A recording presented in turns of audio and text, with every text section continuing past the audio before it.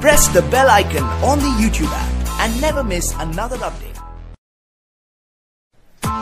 Press the bell icon on the YouTube app and never miss another update.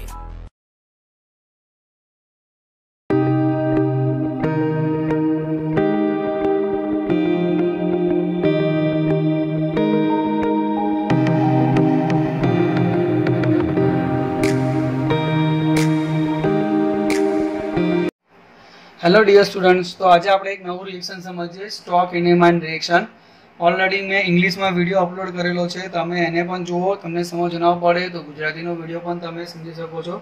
તો stock enamine reaction ખૂબ જ important reaction છે. MSc two students માટે, એના સિલેબસમાં છે. તો સમજીએ કે સ્ટોક ઇનેમાઇન રિએક્શનનો પ્રિન્સિપલ શું કહે છે? તો આપણે પ્રિન્સિપલ સમજવા જઈએ. તો તમારી પાસે એક આલ્ડીહાઇડ કાં તો કીટોન હોવો જોઈએ. આલ્ડીહાઇડ અથવા તો કીટોન, જેની પાસે ઓછામાં ઓછો માત્ર માત્ર એક આલ્ફા હાઇડ્રોજન હોવો જોઈએ. કન્ડિશન આલ્ફા હાઇડ્રોજનની એક છે.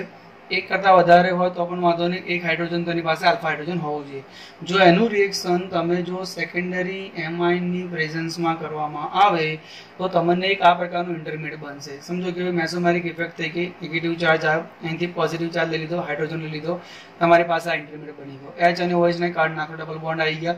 એટલે આ તમારી પાસે એક શું બની ગયો? ઇનેમાઇન બની ગયો. હવે આ ઇનેમાઇનનું તમે કેવી રીતે ડેફિનેશન આપી શકો? તો ઇનેમાઇન એને કહેવામાં આવે કે ભાઈ આલ્ફા બીટા અનસેચ્યુરેટેડ એમાઇન હોય. એને શું કહીશું આપણે? ઇનેમાઇન કહીશું.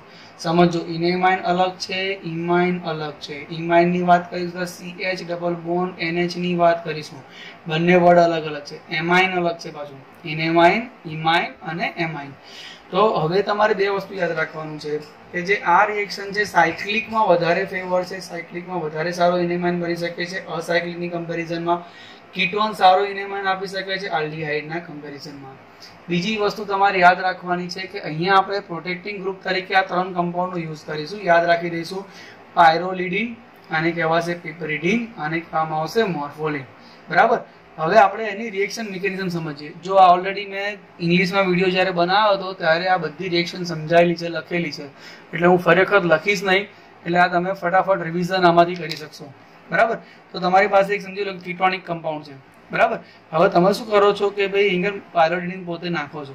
તો પાયરોડિન નાખો પેલા કીટોનને આપણે ઇનોલમાં કન્વર્ઝન કરી નાખીએ. તો કીટોન છે, તો ઇનોલમાં કન્વર્ઝન આવી રીતે થઈ શકે. ભાઈ ડબલ અહીંયાથી ઇલેક્ટ્રોન ખેંચી લીધું, એટલે માઇનસ ચાર્જ આવ્યો. અહીંયા તમારી પાસે હાઇડ્રોજન છે. બરાબર? આ હાઇડ્રોજન પોતે લઈ લીધા.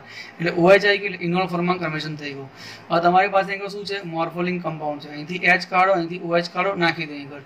તો તમારી પાસે એક આ કમ્પાઉન્ડ બની ગયો. નેક્સ્ટ તમારે શું વિચારવાનું છે કે ભાઈ લોન પેર ઓફ ઇલેક્ટ્રોન અહીંયા બોન્ડ બનાવે. જેવા બોન્ડ બનાવે એટલે અહીંથી બોન્ડ પોતે તૂટી જાય. એટલે આનો ચાર્જ કેવો આવવાનો? કે અહીંયા જવાનો. કેમ અહીંયા જવાનું? કારણ કે રિએક્ટિંગ મટીરિયલ તમારી પાસે આ પ્રકારનું છે. આને આપણે રિએક્શનનું નામ આપીશું એસએન ટુ પ્રકારનું. જેવો બોન્ડ અહીંયા પોતે બનાવશે તો અહીંયા તમારી પાસે કોણ છે? આર એક્સ છે. તો એક્સ કેવો છે? ઇલેક્ટ્રોન નેગેટિવ છે. કાર્બનમાંથી ઇલેક્ટ્રોન ખેંચી લેશે. આના પર કયો ચાર્જ આવશે? પોઝિટિવ આ નીકળી ગયો.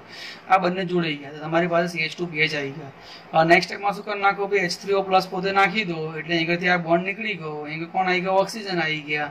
એટલે તમારી પાસે છેલ્લા કોણ આવી ગયો? કીટોન આવી ગયો. એટલે કે તમે કર્યું શું આગળ કે ભાઈ કીટોનનું રિએક્શન જો સીએચ ટુ પીએચ બીઆર સાથે કરવામાં આવે, તો આ જે ગ્રુપ છે એ કોણ આવી ગયું? આલ્ફા પોઝિશન પર આવી ગયું. પણ આ બધી આપણે મથામણ શાના માટે કરવી પડે છે? તો એવું યાદ રાખવાનું છે કે ભાઈ જો તમે આગળ પ્રોટેક્ટ ન કરો, તો આ એક પોતાની સાથે રિએક્શન કરી શકે એવો છે. એટલે આપણે શું કરી નાખ્યું? અને પેલા પ્રોટેક્ટ કરી નાખ્યું. બરાબર? પ્રોટેક્ટ કરીને પછી આ બધું રિએક્શન કરી નાખ્યું. પછી શું કરી નાખ્યું? ડી પ્રોટેક્શન કરી નાખ્યું. તો એક આ તમારે બધા રિએક્શન જે કેમિસ્ટ્રી છે એ પણ સમજવાનું છે. પ્રોટેક્ટિંગ ગ્રુપ કોને કહેવામાં આવે અને ડી પ્રોટેક્શન કોને કહેવામાં આવે. આ અલગ વાત કરીશું, જ્યારે આપણે ચેપ્ટર ભણીશું સેમ થ્રીની અંદર. પ્રોટેક્ટિંગ ગ્રુપ કોને કહેવાય ડી પ્રોટેક્શન કોને કહેવામાં આવે. અત્યારના માટે એવું યાદ રાખો કે ભાઈ આ મોર્ફોલિંગ કમ્પાઉન્ડ સોરી પેલોડિંગ કમ્પાઉન્ડ જે છે એ કીટોનને પ્રોટેક્ટ કરે છે અને છેલ્લે આપણે શું નાખી દઈએ છીએ સીએચ ટુ નાખી દે છે. બરાબર? ક્લિયર થઈ ગયું? ચલો, હવે નેક્સ્ટ સમજીએ. બરાબર, ફરી વખત સમજાવું છું કે ભાઈ, આનું આ જ રિએક્શન મેં ઓલરેડી ઇંગ્લિશના વિડીયોની અંદર લખેલું છે, એટલે હું ફરી વખત લખીશ નહીં.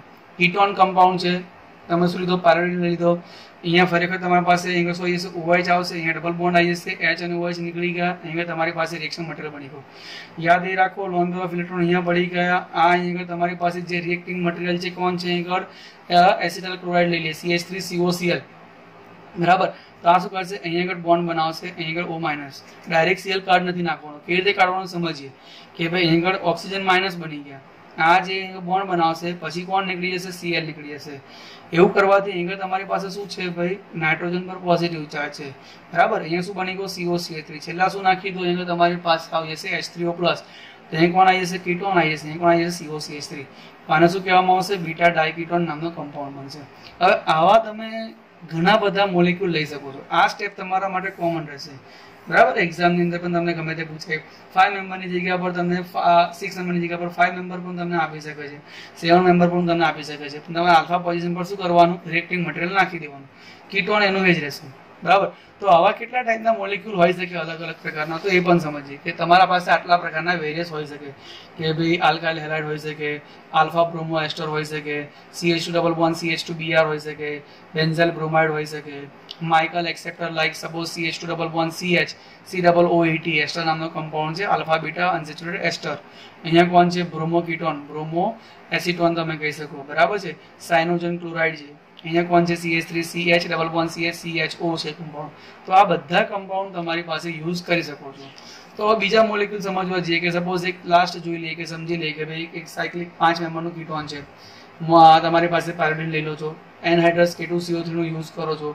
તો અહીંયા આગળ તમારે કે ટુ સીઓ થ્રીનું યુઝ એટલા માટે કરવાનો છે કે ભાઈ હાઇડ્રોલિસિસ થઈ ના જાય એટલા માટે. તો એનહાઇડ્રસ કન્ડિશન છે.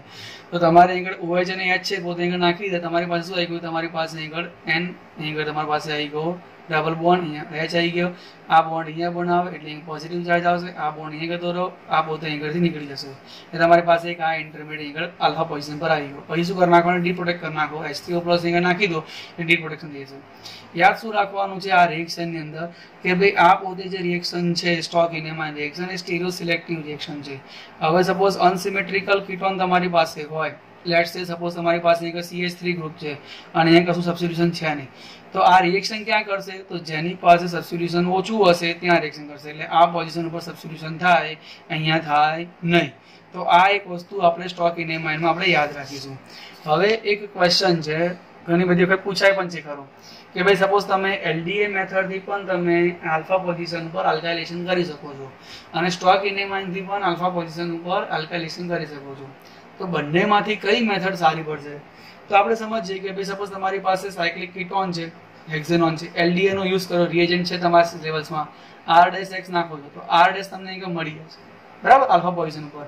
હવે તમે સપોઝ સ્ટોક ઇનેમાઇન રિએક્શન કરો કે ભાઈ પહેલા અનાવડે પ્રોટેક્ટ કરી નાખો. બરાબર? પાયલોટી માટે પ્રોટેક્ટ થઈ ગયું.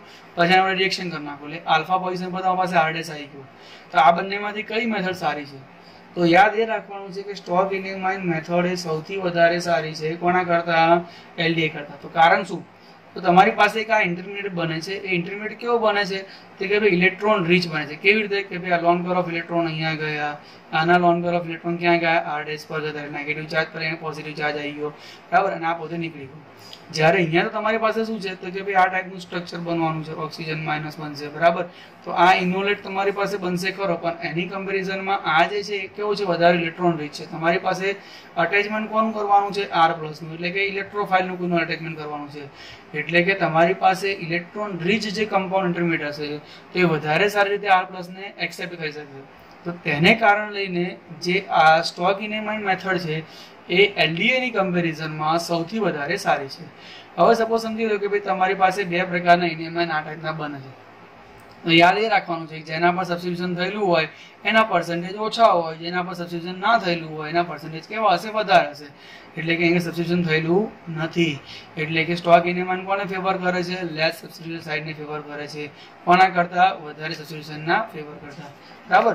તો એક આ સ્ટોક ઇનેમાઇન મેથડ અથવા સ્ટોક ઇનેમાઇન રિએક્શન આપણે પૂરું કર્યું. Thank you for watching it